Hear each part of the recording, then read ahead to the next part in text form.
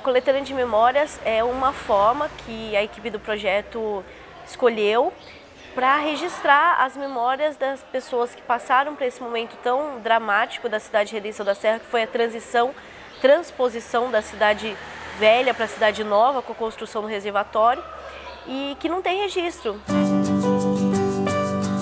Então nós escolhemos dois grandes grupos. O primeiro de pessoas que participaram ativamente do âmbito administrativo.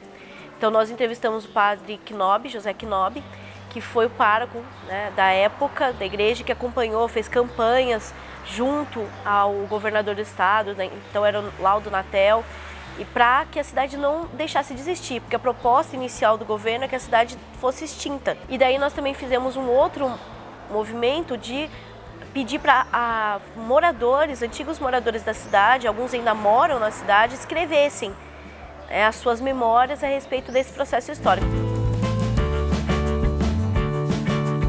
Então, Redenção da Serra é uma cidade muito peculiar, porque ela foi a primeira cidade paulista que aboliu a escravatura, por isso o nome Redenção da Serra, porque antes ela tinha um outro, uma outra denominação. E todo esse projeto começou com demanda da própria cidade.